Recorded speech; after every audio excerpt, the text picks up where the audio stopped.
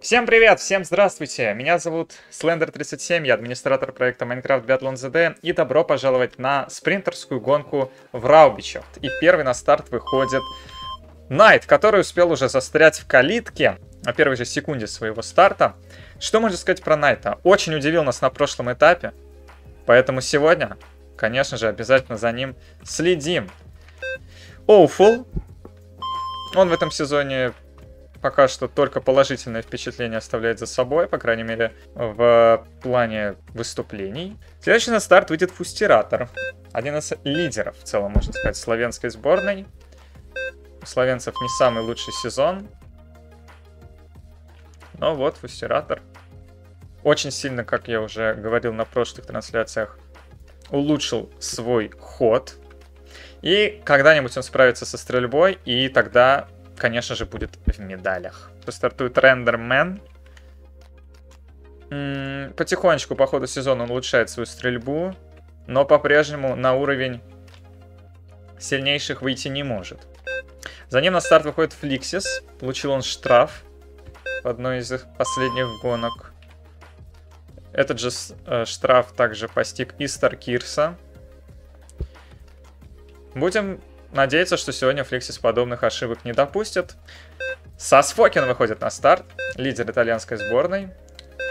Сейчас Сасфокин определенный лидер. А, и, конечно, от него вся Италия ждет лучших результатов и чуда какого-то, возможно, на грядущем чемпионате мира. И последим за тем, как стартует Фукарт. Еще один словенец. Четыре словенца у нас сегодня выйдет на дистанцию. Вард в синей майке. По-прежнему он лучший а, среди молодого поколения Майнкрафт биатлона, до 15 лет участники. А вот стрельба Найта.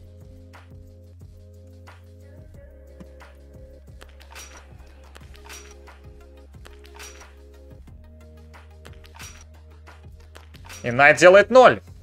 Долго он выцеливал первый выстрел, но не зря. По подходу 6.17 это плюс 7 от лучшего. Проиграл прилично. Но тем не менее. А пока что стрельба Оуфула.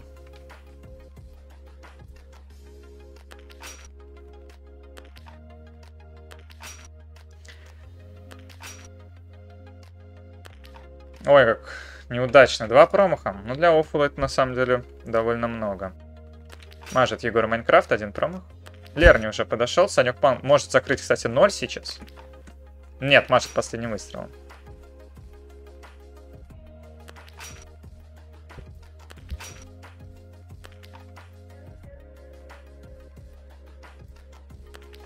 Лерни, также один промах. Последим за фустиратором, давайте.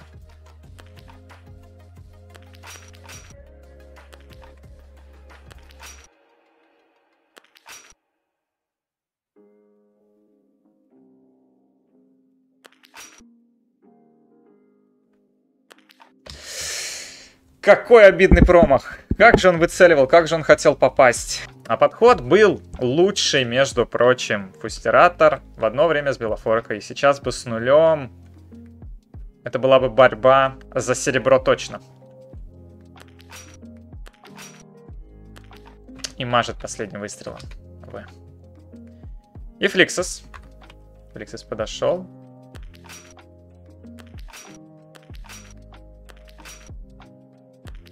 Промах последним выстрелом.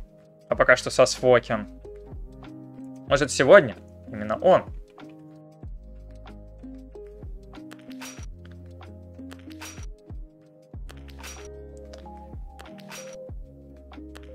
И тоже промах последним выстрелом.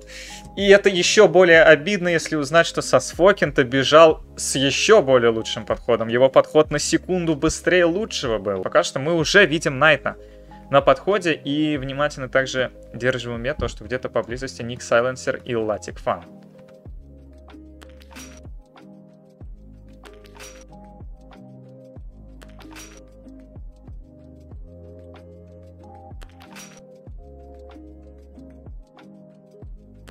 Найт 0 плюс 0. Прекрасная работа. Ник Сайленсер стреляет, но давайте последим за Латик Фаном. Факсович. Ранее был именно такой ник у него.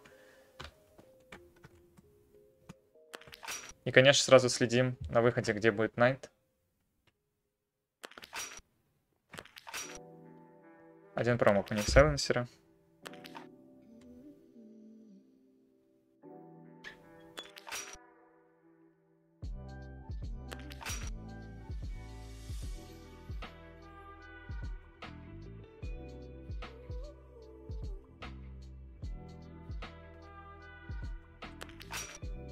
Егор Майнкрафт один промах. Следим за Лерни.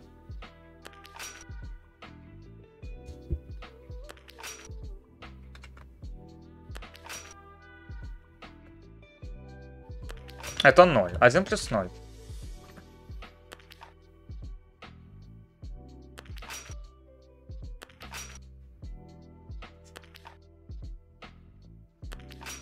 Два промаха у. Рендер. Неплохо начал. Точная стрельба. 1 плюс 0. Кстати, будет высоко, вероятно, сегодня. Ну, со Свокин с нулем может быть сегодня очень высоко.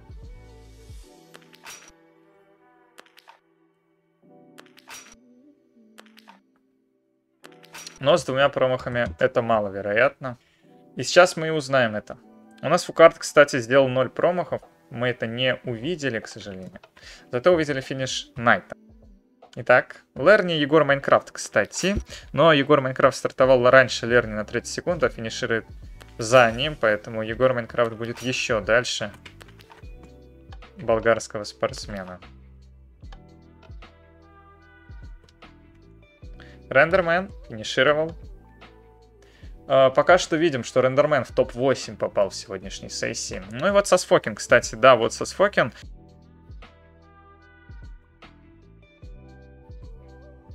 2 плюс 0. Вторая стрельба помогла ему сегодня улучшить свои позиции немножко.